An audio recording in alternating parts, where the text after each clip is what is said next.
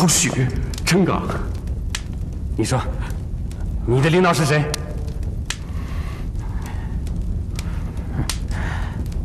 你抓不到，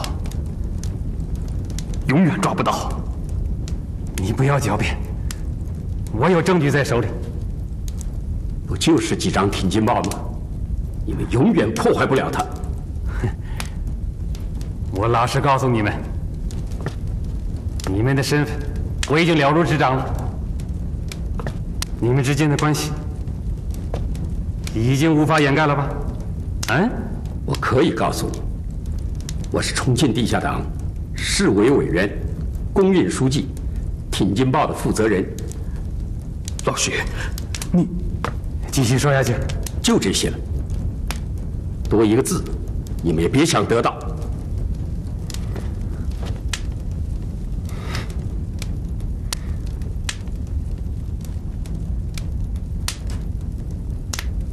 许先生，你应该清楚，现在掌握你们命运的人，不是你们，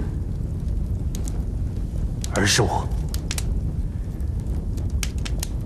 你们为了你们自己，你们也该好好想想，啊！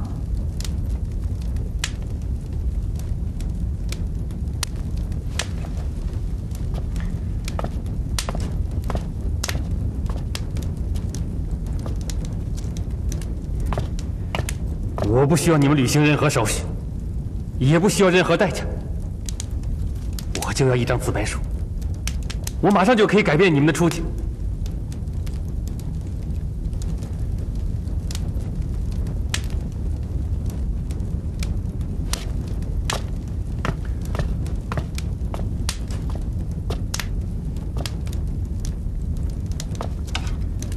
我以我个人的名义担保。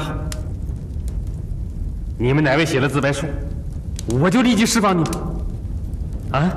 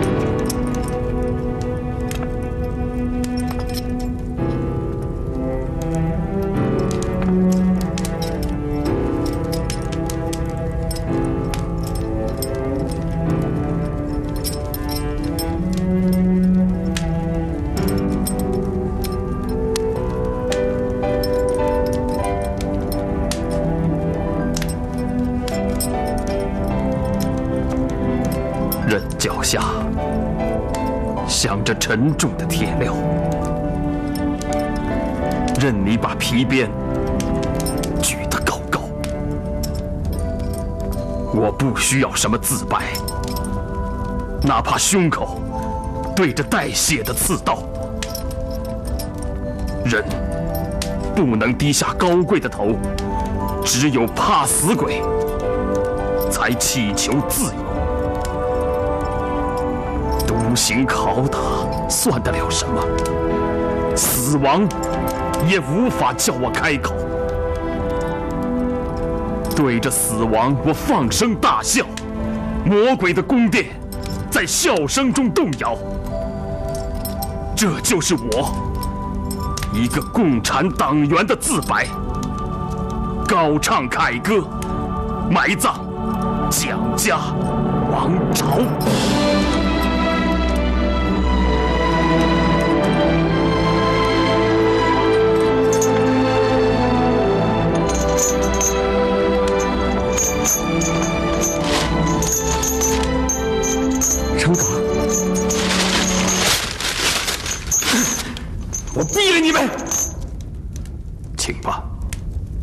得不到的东西，刑场上同样得不到。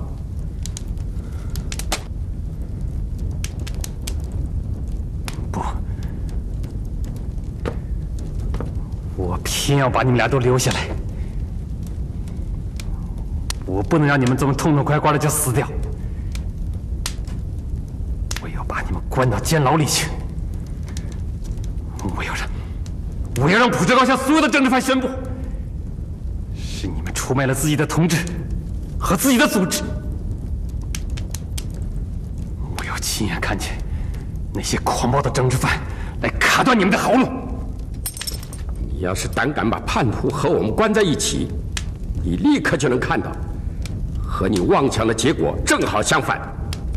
来人，把他们关进监狱里去！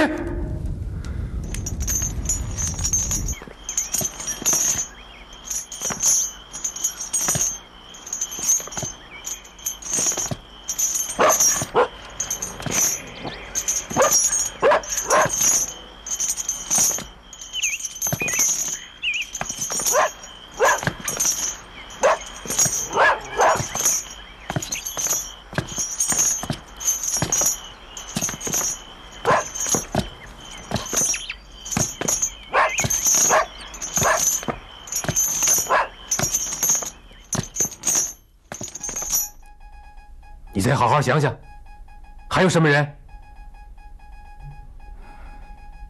卜志刚，江雪琴。哦，她上华阴山了，是我把他送走的。还有谁？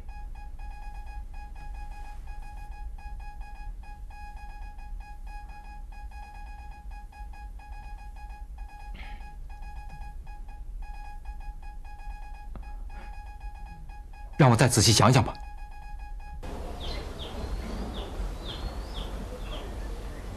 刘思阳，我们在荣昌等了一个多星期了，组织上也没有消息，真急死人了。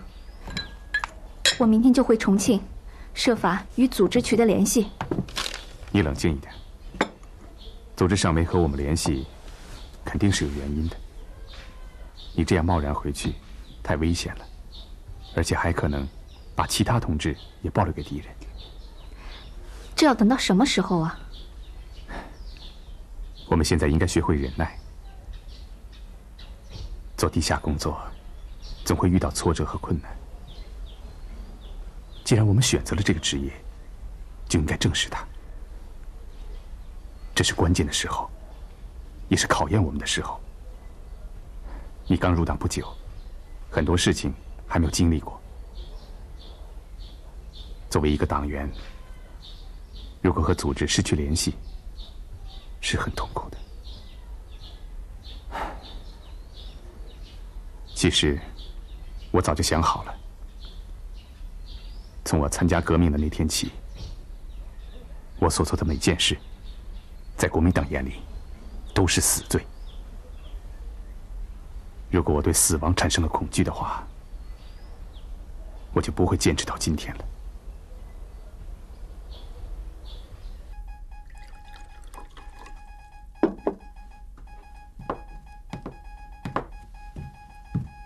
处座，喝杯咖啡提提神吧。有什么新情况吗？没有。我就不信。我徐凤飞斗不过他们。报告，进来。报告处座，刘思阳和孙明霞已逃往荣昌，在刘的妹夫家躲藏。情况属实吗？蒲志高说绝对没有问题。通知李继刚，马上逮捕归案。千万不要大意，这一次不能再让他们跑掉了。是，处座放心。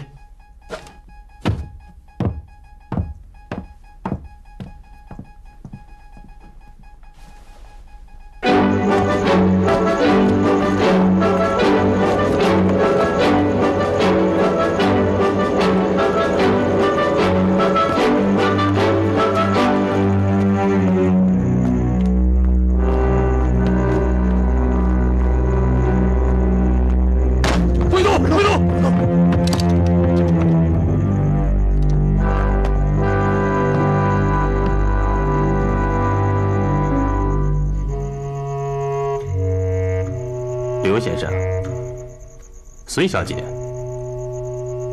走吧。